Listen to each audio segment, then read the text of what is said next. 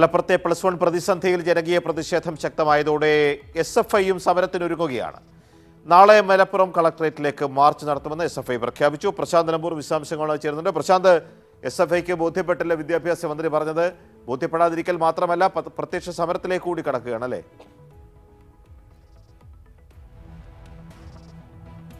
P G കണക്കുകൾ വളരെ വ്യക്തമാണ്. എൺപത്തിരണ്ടായിരത്തോളം അപേക്ഷകരുള്ള മലപ്പുറം ജില്ലയിൽ അൻപതിനായിരത്തോളം സീറ്റുകളാണ് പ്ലസ് വണ്ണിലുള്ളത്. സ്വാഭാവികമായും നമുക്കറിയാം മുപ്പത്തിരണ്ടായിരം കുട്ടികൾ പുറത്തു പോകും ഇത് കണക്ക് കൊണ്ട് എങ്ങനെ പറഞ്ഞാലും ഈ കണക്ക് കണക്ക് തന്നെയാണ്. വിദ്യാഭ്യാസ മന്ത്രി പറയുന്ന മൂവായിരത്തോളം കുട്ടികൾക്ക് മാത്രമേ സീറ്റുകൾ കുറവുള്ളൂ എന്ന് വിദ്യാഭ്യാസ മന്ത്രി പറയുന്നത് കേട്ടിരുന്നാൽ കാലിലെ മണ്ണ് ഒലിച്ചു പോകുമെന്ന തിരിച്ചറിവാണ് എസ് എഫ് ഐയും നാളെ സമരം പ്രഖ്യാപിക്കാനുള്ള കാരണം. കാരണം വിദ്യാർത്ഥികളുടെ പ്രശ്നങ്ങൾ ഏറ്റെടുത്ത് ഒരു വിദ്യാർത്ഥി സംഘടന മുന്നോട്ട് വരാതിരുന്നാൽ അവർക്ക് വലിയ തിരിച്ചടി ക്യാമ്പസുകളിൽ ഉണ്ടാവുമെന്ന് മനസ്സിലാക്കിയാണ് എസ് എഫ് ഐ നാളെ സമരം പ്രഖ്യാപിച്ചിട്ടുള്ളത്. എം എസ് എഫും കെ എസ് യുവും ഫ്രറ്റേണിറ്റിയും പോലെയുള്ള പ്രതിപക്ഷ സംഘടനകളൊക്കെ വിദ്യാർത്ഥി സംഘടനകളൊക്കെ നേരത്തെ തന്നെ സമരരംഗത്താണ്.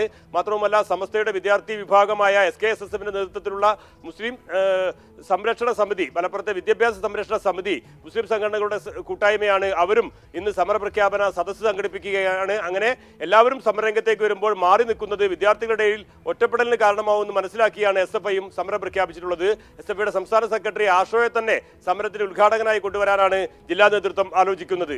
P G. ശരി പ്രശാന്ത് നിലമ്പൂരാണ് വിശദാംശങ്ങൾ നൽകിയത്. എസ് എഫ് ഐക്ക് ഇനി മൂർച്ച കുറഞ്ഞു സമരമുണ്ടായില്ല എന്നൊക്കെയുള്ള വിമർശനങ്ങൾ കൂടിയൊക്കെ ഇതിനെ സ്വാധീനിച്ചുണ്ടാവാൻ സാധ്യതയുണ്ട്.